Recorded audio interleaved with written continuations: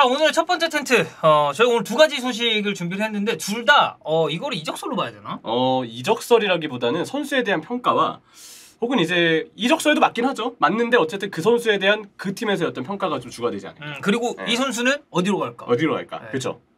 쿨루셰프스키 지금 유벤투스 임대 복귀설이 있습니다. 맞습니다. 근데 이제 이- 지금 생각해봐야 될 게 좀 여러 가지가 있는 게 쿨루셰프스키를 토트넘 입장에서 완전 영입을 해야 되나? 음. 아니면 그냥 유배로 돌려 보내야 되나? 아. 이제 이걸 중점으로 우리가 오늘 좀 볼 겁니다. 그렇죠. 일단 임대 복귀설이라는 거는 역시 이제 임대 기간이 종료가 되면서 원소속 팀인 유벤투스로 좀 갈 수 있다는 거를 뜻하는데 토트넘은 이렇게 되면 이제 쿨리스스키가 나가게 되면 일단 공격진 뎁스는 얇아질 수밖에 없어요. 자, 왜냐면 모라 떠나죠. 네. 그리고 단주마. 사실 단주마는 나는 있었는지도 잘 기억이 안 나요. 단주마도 어쨌든 이제 임대 복귀를 할 거니까. 예. 음. 그리고 근데 여기에서 만약에 크루셰프스키까지 임대 복귀를 하게 되면 사실 현재 남는 공격 자원이 케인, 음. 히샬리송, 손흥민 아. 그리고 케인 역시도 진짜 100% 여름 이적 시장이 끝났을 때 토트넘이 남 토트넘에 남아 있다라고 확신하기는 좀 힘들다. 루머가 아무래도 있기 때문에. 네. 근데 어쨌든 쿨리스스키가 그동안 차지했던 지분을 봤을 때 오른쪽 인포워드 자리는 꾸준히 뛰었잖아요. 음. 그렇기 때문에 이 선수가 갑작스럽게 임대 복귀를 한다는 것 자체. 그것도 이제 판매도 아니고 거액의 판매가 되는 것도 아니고 임대 복귀가 된다고 하는 거는 어쨌든 머릿수 자체 하나가 줄어드는 상황이 크게 느껴질 수밖에 없어요. 음. 그 전에 꽤 많은 이 출전 빈도를 차지했던 선수이기 때문에. 여기 이제 추가로 한 선수 더 봐야 되는 게 세비야 지금 임대가 있는 브라이언 힐입니다. 아 브라이언. 근데 브라이언 힐은 괜찮아요. 지금 음. 세비야에서. 그러니까 포인트는 엄청 많이 양산했다고 보긴 힘든데 어, 세비야 반등하는데 그래도 역할을 좀 잘해줬고 확실히 이 선수는 세비야 출신이고 라리가 출신이다 보니까 나는 약간 무대에도 타는 게 있다고 봐요. 그렇죠. 아니 아직 어쨌든 어리니까 그리고 음. 프리미어리그 검증이 지금 다 됐다고 보긴 힘드니까 당장 이 선수를 무조건 다음 시즌 클루셉스키 정도의 빈도로 자주 띄워줄 것이다 라고 간주하기는 힘들죠. 그리고 어, 브라이언 힐 같은 스타일이 이 선수는 기본적으로 엄청나게 hard worker입니다. 음, 되게. 많이 뛰는 음. 스타일이잖아요. 이런 선수들은 어느 팀을 가도 도움은 돼. 음. 근데 그 많이 뛰는 거 이외에 특출난 장점이 있을 때 이 선수를 확실하게 주전으로 쓸 수 있는 거지. 음. 그게 아닐 시에는 토트넘 입장에서도 아 다음 시즌 힐만 믿 고 가기에는 음. 리스크가 좀 크지 않나. 그리고 과연 이제 클루셉스키만큼 오른쪽에서의 지분을 좀 많이 가져갈 수 있는 음. 그런 것도 사실 힐에게는 좀 의문이 남기 때문에 공격진 depth는 어쨌든 클루셉스키가 만약에 임대 복귀를 한다면 굉장히 음. 얇아진다라고 정리할 수 있겠습니다. 토트넘이 지금 리그 8위죠. 네. 어, 지금 한 경기가 남아 있습니다. 이제 프리미어리그 최종전이 이번 시즌 아 이번 시즌 아니지 이번 주. 이번 주죠. 이번 네. 주 일요일에서 월요일 될 때 0시 반. 다 음. 끝납니다. 그때 이제 동시 스타트를 딱 하고 네. 라리가는 한 주 더 있어요. 음. 라리가는 한 주 더 있는데 프리미어리그는 지금 한 경기가 남아 있는 상황인데 컨퍼런스 진출권이 8위가 되면 안 돼요. 그렇죠. 네. 그래서 마지막 이 7위 아스톤빌라랑 지금 경쟁을 해야 되는 상황인데 승점은 1점 차. 음흠. 골득실은 같습니다. 일단 자력으로는 불가능해요. 음. 빌라의 저 브라이튼 경기 결과를 봐야 됩니다. 아, 근데 어쨌든 또 브라이튼이 상대라서 아, 근데 브라이튼이 또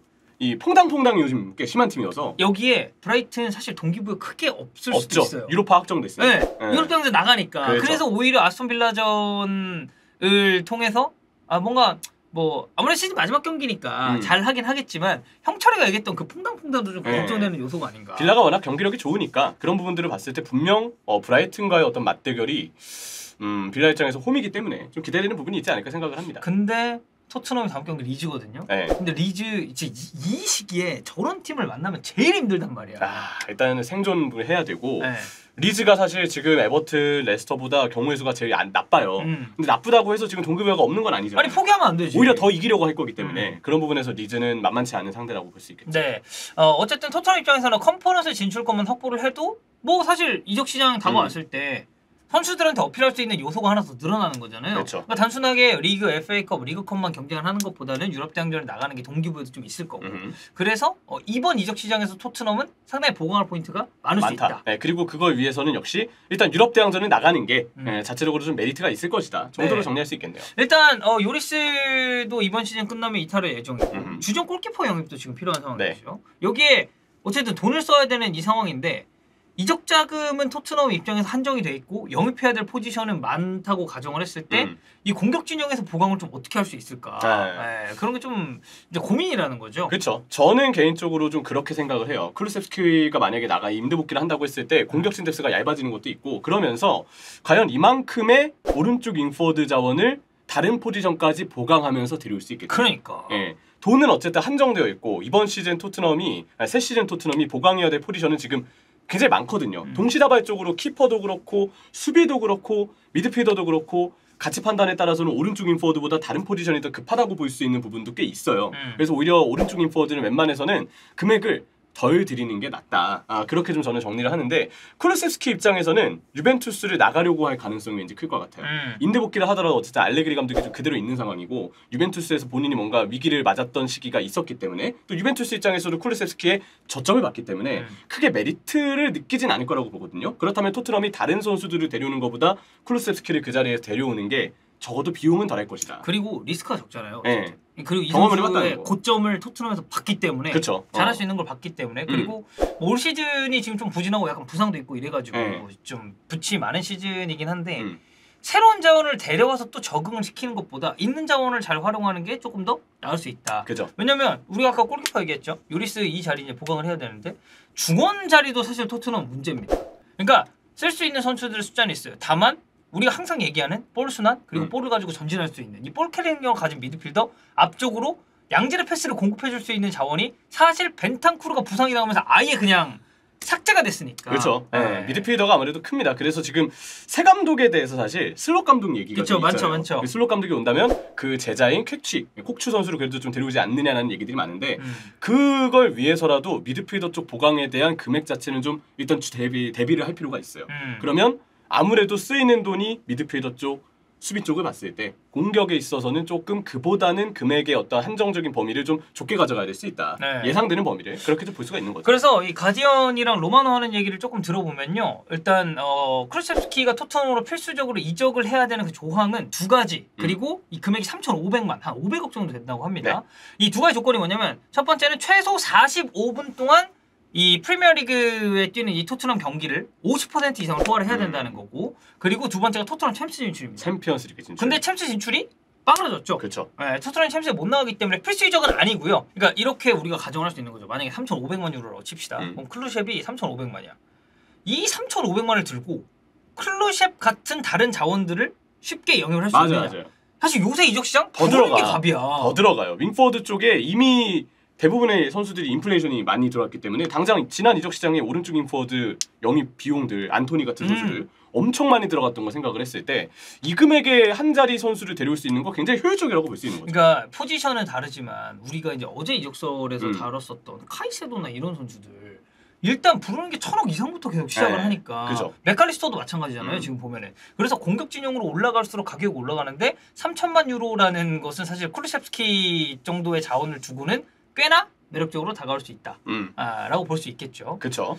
이 클루셉스키는 어쨌든 부침도 있었고 음. 잘한 시즌도 있었습니다 일단 아, 이 선수의 고점이라고 할 수 있는 건 2021, 2022 시즌 오자마자 제일 잘했죠. 음. 근데 그 반년은 사실 쿠르세스키가 저는 캐리했다고도 볼만한 시즌이었다고 봅니다. 진짜 네, 손흥민 선수의 득점왕이 있어서도 사실 쿠르세스키 선수가 기회 창출을 해줬던 장면들이 꽤 있었거든요. 노리치존에서도 솔직히 그래. 엄청 주려고 했는데 필사적으로 열심히 그래. 해서 주려고 했단 말이야. 그런 모습들 자체는 저는 좀 쿠르셉스키가 이미 토트넘에서 고점을 보여준 부분은 있다. 음. 그리고 저는 또 하나가 파르마 시절의 이 선수는 세리아 최고의 윙포드 중에 한 명이었어요. 그때 되게 유망하다고 평가를 많이 받았었으니까. 음, 그래서 저는 이만큼의 고점을 지닌 선수를 이 금액에 데려오는 게 사실 흔한 사례는 아니다. 그 부분에서 역시 이 선수를 좀 높게 평가할 수 있는 부분은 확고한 고점을 보여줬다는 부분. 그런 음. 부분들 자체는 쿠르세스키를 평가할 때 좀 높게 볼 만한 부분이라고 생각합니다. 지금 채팅창에서도 얘기가 나오는 게 이미 패턴 다 읽히고 올 시즌 별로여가지고 음. 잘 모르겠다라고 하시는데 저는 그냥 제 개인적인 생각은 저는 다른 감독 와가지고 쓰임새를 잘 가져가면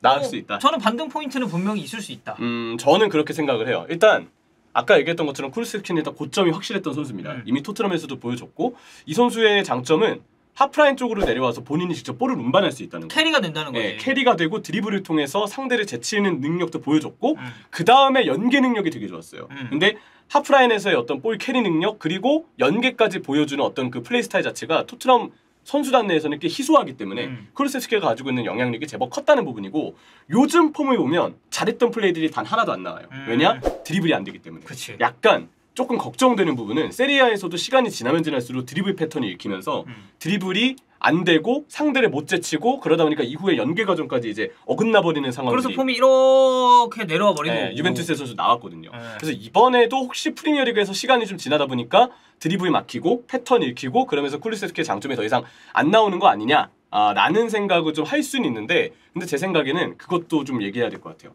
전술이 과연 쿨리세스키를 편하게 해줬는지. 네, 그러니까 이 포인트 때문에 다른 감독이 왔을 음. 때 반등할 수 있지도 않을까? 네. 그래서 아직까지는 쿠루셉스키가 어, 전술이 달라졌을 때 감독에 의해서 팀의 환경이 조금 더 좋아졌을 때 다시 살아날 수 있는 여지가 분명 아직까지는 좀 있는 선수라고 생각을 해요. 음. 그리고 이런 평가를 할 수 있는 근거는 쿠루셉스키가 어쨌든 고점 자체가 웬만한 선수보다는 꽤 높았던 자원이라는 점에서 그간의 활약을 해줬던 기간들을 봤을 때 요즘의 부진 하나만의 이유를 가지고 이 선수가 앞으로도 부진할 것이라고 정리하기에는 전술과 같은 변수들이 너무 많이 따라왔었다. 어쨌든 부상도 또 네, 있었던 부상도 선수니까. 있었고 네. 그런 점들 때문에 저는 쿠르세스키가 비용이 어쨌든 다른 자원들보다 좀 효율적으로 덜 쓸 수 있다는 전제까지 지금 깔려 있잖아요. 네. 그렇다면 어, 토트넘의 쿠르세스키는 일단 영입을 하는 쪽이 임대 복귀 이후에 영입을 하는 쪽을 선택하는 게 차라리 낫지 않을까라고 보고 있습니다. 그 이제 채팅창에서 이런 말씀을 해주셨는데 조르지니만 봐도 전술 잘 맞춰주면 충분히 본인 몫은 할 수 있는 여지는 남아있지 않나 싶긴 음. 하다.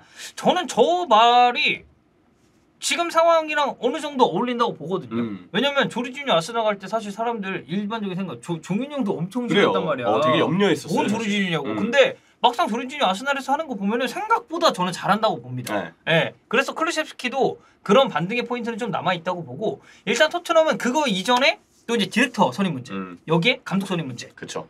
지금 보면 우리가 스쿼드에 대한 부분, 뭐 해리케인 이탈 가능성 있죠. 요리스도 음흠. 그렇고 수비 라인도 사실 여기는 보강이 필요하고 중원 마찬가지고 클루셉스키 얘기 다 나오고 있지만 제일 우선적으로 돼야 되는 건 디렉터 감독이다. 일단은 뭐 계속 여러 후보군들이 좁혀지고 있지만 음. official이 아직 뜬 건 아니기 때문에 네. 과연 이 인물들이 들어오면서 어떻게 방향성을 잡는지에 대해서 아직 현재로서 예측이 쉽지는 않다 정도가 네. 되겠죠. 어. 네. 그래서 클루셉스키 얘기는 좀 이 정도로 음. 네, 마무리해보면 될 것 같습니다.